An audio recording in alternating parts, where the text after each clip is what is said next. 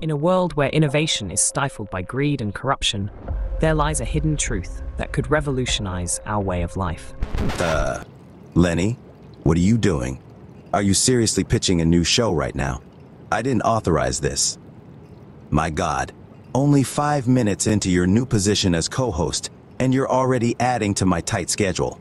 Yes, sir, I manage that schedule. But I did notice you have an entire two days available during your week. Wait, you're not talking about Saturday and Sunday, are you? Of course, sir. You have two whole days where you're free to work on new content. Lenny, those are my days off. It's okay, sir. I know you'll manage just fine. I have faith in you. Do robots have faith? I do. I have faith that you won't screw it up again. You know what?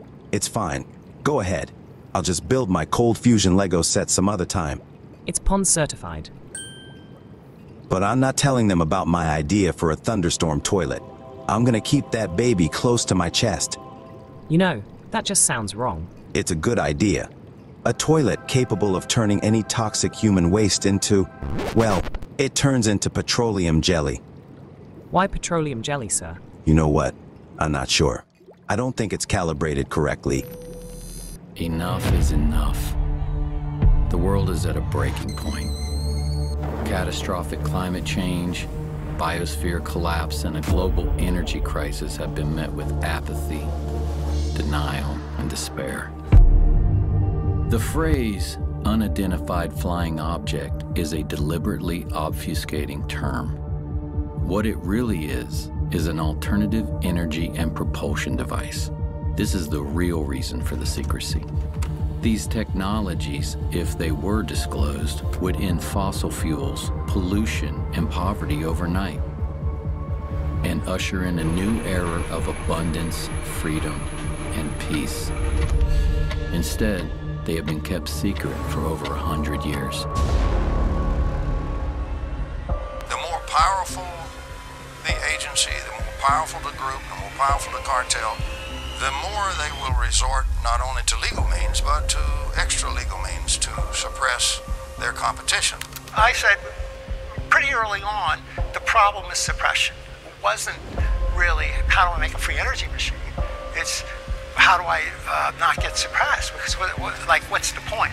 Microscopic ball lightnings that, when they discharge, are tapping into that zero point energy field and creating the motive force. Boom! That's why the concussion from the thunderclap is so huge. There's this huge amount of energy that's actually sourced from the from the vacuum energy. All the dots connected. This is what's happening, right? So how we need to make the thunderclap engine.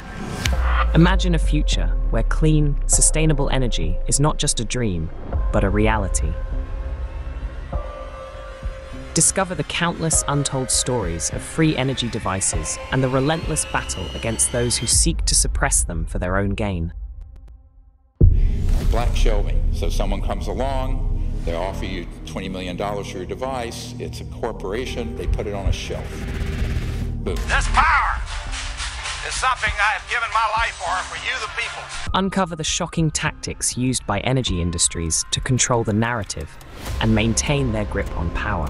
You don't interfere with the big, powerful people. You don't put them out of business. They still have those 50-year leases on the lines and, the, and all the power transformers.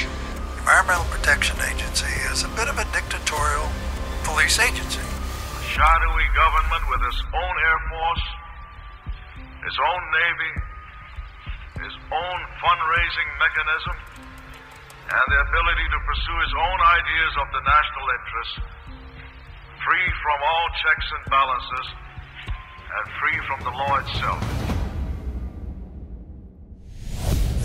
This is real, usable power.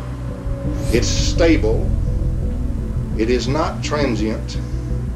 It is not noise. Behind the lamps, that little box is putting out all of that power, well over 500 watts, and yet it is receiving less than one third of a milliwatt of input power. The rest of that power is coming out of the surging energy of the vacuum.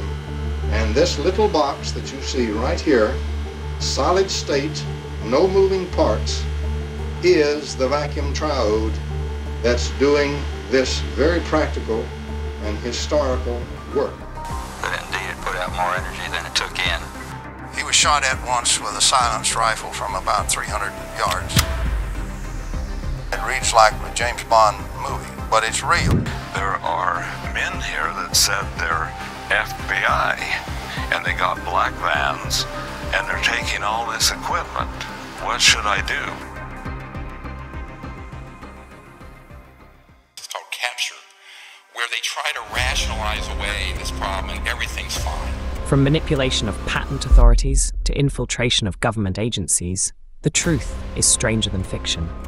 But amidst the darkness, a glimmer of hope emerges in the form of renegade scientists and inventors who refuse to be silenced.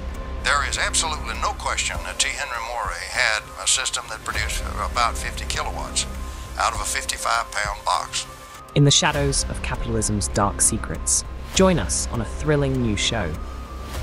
Get ready to be inspired, enraged, and empowered as we delve into the benefactor's guide to free energy devices.